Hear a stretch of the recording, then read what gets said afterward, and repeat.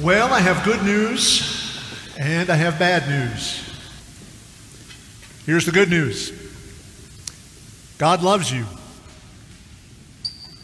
Here's the bad news God loves you.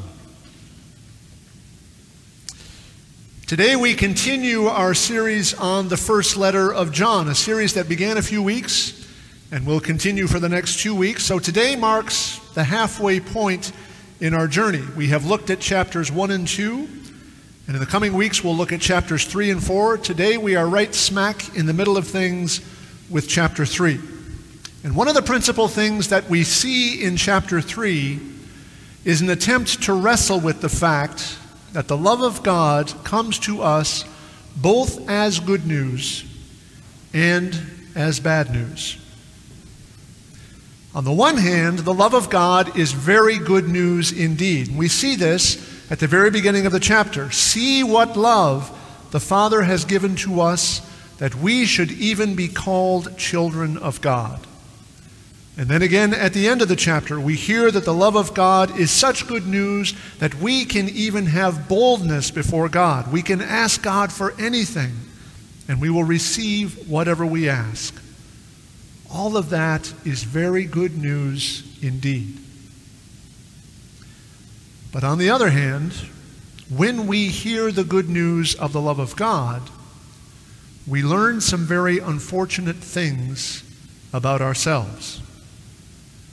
We learn that we are guilty of lawlessness. We learn that when we see someone in need, our first response may not be to help, but to hoard we learn that unlike God, we are not inclined to love, but rather to hate. Bad news.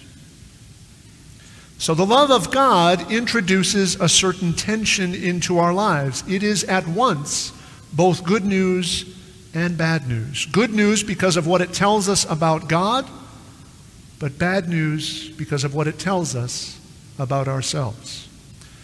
And the tension between these two is the basis of every other tension that we see mentioned in 1 John light and dark, truth and falsehood, life and death, Christ and Antichrist, the world as God intends it, and the world as we intend it. All of those distinctions follow from the more fundamental distinction that the author of 1 John makes between what the love of God tells us about God and what the love of God tells us about ourselves. Now, none of the tensions that we see in 1 John are things that we would have figured out or recognized for ourselves. Left to our own devices, we would have altogether failed to recognize the tension, or we would have done our best to explain away the tension. We needed God to show us there was a problem, and we needed God to show us the solution. And that, says 1 John, is where Jesus comes in. The Son of God was revealed for this purpose. The Son of God was revealed to destroy death. The Son of God was revealed to destroy falsehood. The Son of God was revealed to destroy darkness. The Son of God was revealed to show us there was a problem, and the Son of God was revealed to show us the solution. In fact, Jesus doesn't just point us to the solution or tell us about the solution, Jesus is himself the solution. And we first heard this a few weeks ago in the very first chapter of 1 John. We have an advocate with the Father Jesus Christ the righteous. And he is the atoning sacrifice for our sins, and not for ours only, but for the sins of the whole world. And now, here in the third chapter, we hear it again. All who obey his commandments abide in him, and he abides in them. Those who abide in Jesus have passed from darkness to light, from death to life, and they abide in the love that the Father has for us. Now, none of that in 1 John is intended as abstract theological speculation. Everything that 1 John says about the love of God and what it tells us about ourselves has immediate practical consequences for those to whom this letter was written. A few weeks ago, Father Bob mentioned that it very much seems that 1 John was written to a community in trouble.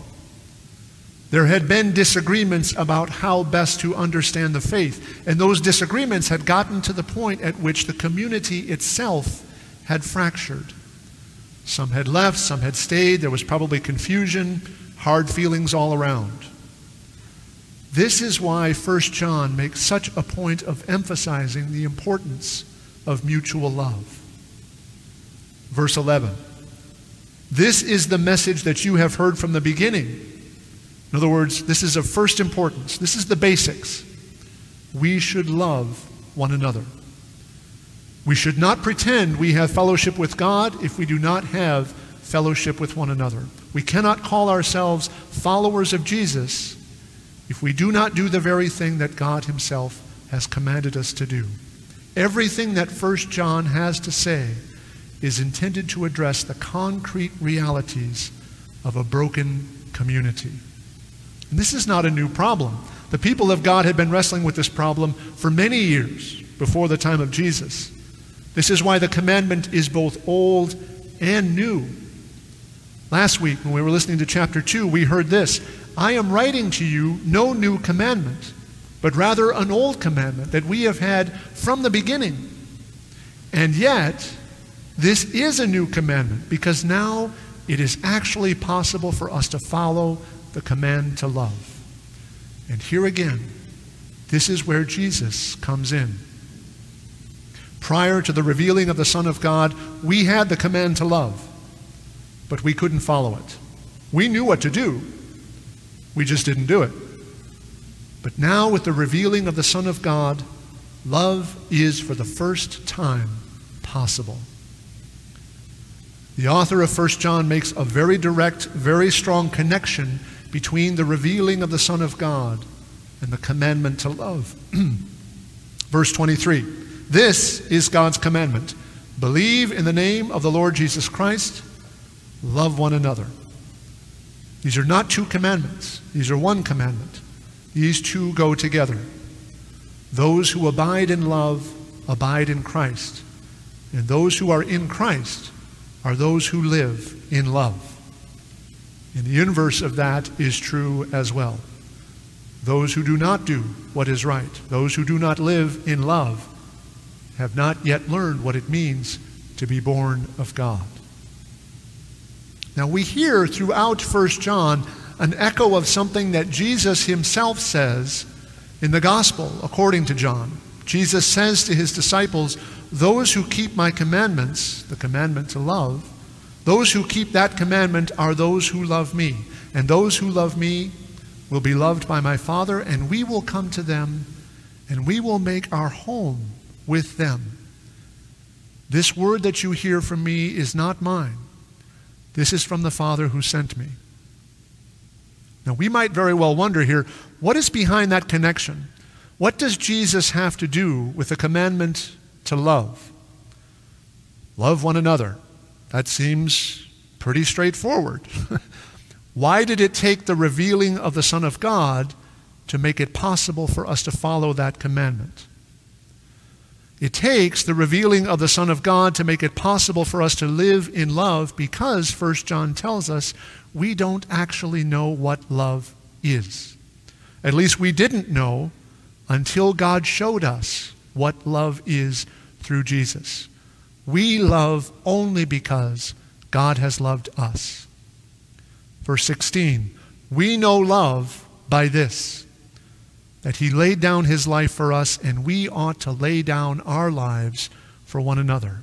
That is the kind of love that holds broken communities, broken relationships together. We know love by this. He laid down his life for us. We ought to lay down our lives for one another. Now, the author of 1 John is not making this up. He's not the only New Testament writer to send a letter to a fractured community struggling to hold things together. Paul sounds a very similar note in his first letter to the Corinthians, a community that was likewise plagued by division and by discourse.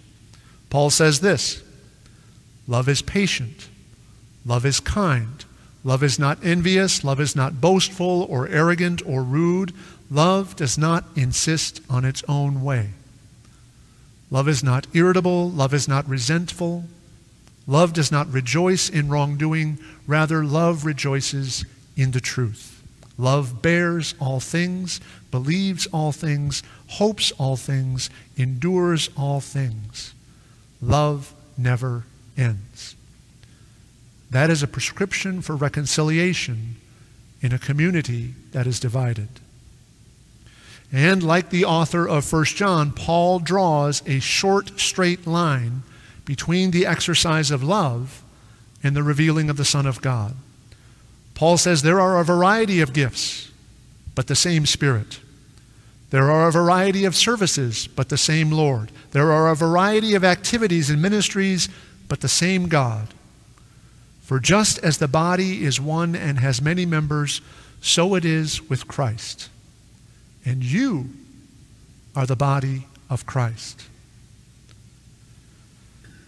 Now, left to our own devices, we find it hard to live in that kind of love. We find it hard to live in that kind of community. In fact, we find it impossible. but see what love the Father has given to us. See what love has been revealed to us so that we might be called the children of God. The Son of God was revealed for this purpose that we might not only know what love is, but might be able to live in love. And when we live in love, then we too are revealed. We are revealed as the children of God. And all of that has an even larger purpose than restoring fractured communities and broken relationships. All of that looks forward to something even greater, something beyond imagining. Verse 2 Beloved, we are God's children now. What we will be has not yet been revealed. But what we do know is this when Christ is revealed, we will be like him, for we will see him as he is. And all who have this hope purify themselves just as he himself is pure. We are God's children now. And that, in and of itself, is extraordinary. Given our disagreements, given our divisions, given our lawlessness, given our selfishness, given our capacity for self deception and hatred, who could imagine that we would be called children of God? But through Jesus, God has pulled it off. God has made us his children, and that's not all. There is more to come. And what we will be has not yet been revealed.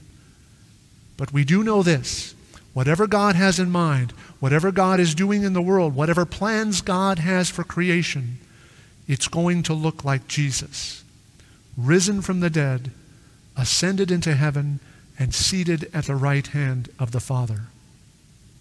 Our destiny, the destiny of the whole creation, is tied up with Him. And when he is revealed, we will be like that. Again, the author of 1 John is just picking up on a theme that is echoed by other New Testament writers. Here's Paul again, this time from his second letter to those recalcitrant Corinthians. What no eye has seen, what no ear has heard, what the human heart has even begun to conceive, that is what God has prepared for those who love him. Those are the things that God has revealed to us in Jesus. Christ was revealed for a purpose. And in Christ, we are revealed for a purpose. And one day in Christ, all things will be revealed for a purpose. And what that means is that those who live in love those who abide in Christ share in the work that God Himself is doing, helping to prepare this creation for an eternal weight of glory that is beyond all measure and beyond our imagining. The darkness is passing away, and the true light is already shining. So let us walk in love, not in word or in speech, but in truth and in action and in Jesus. Let us abide in Christ so that he may abide in us, so that his life might be perfected in us. And let us live in the hope of that which has not yet been revealed, but that when it is revealed will shine forth with the glory of the risen Lord, to the honor of his name. Amen.